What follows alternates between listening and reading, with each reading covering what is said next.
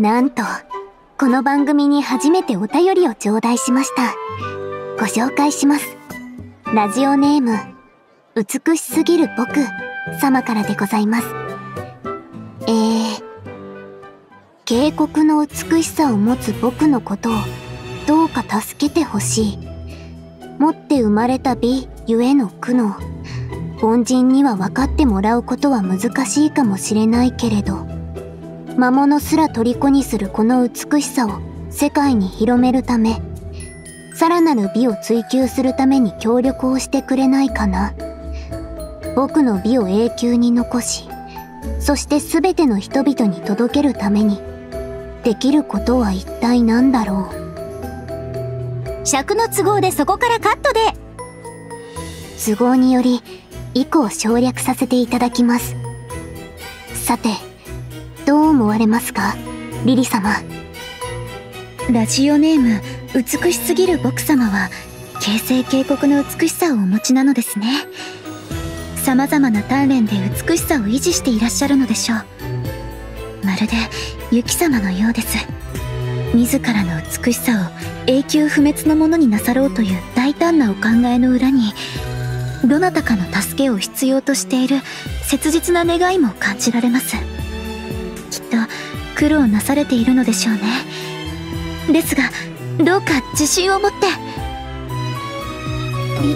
リリリーあんたちょっと深刻に考えすぎじゃない？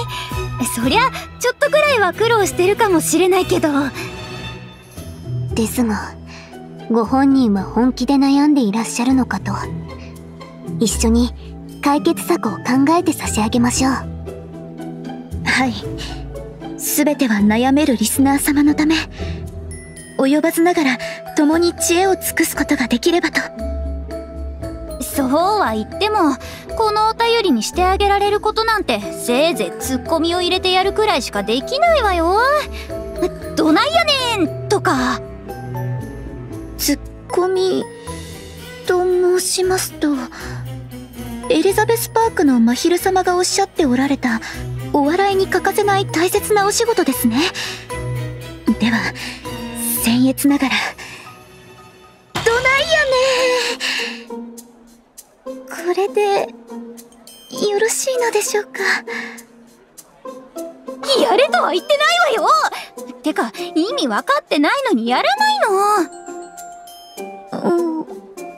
はい。やはり未熟者の私では美しすぎる僕様にしてあげられることはないということでしょうか。リリ様そのようなことはございません。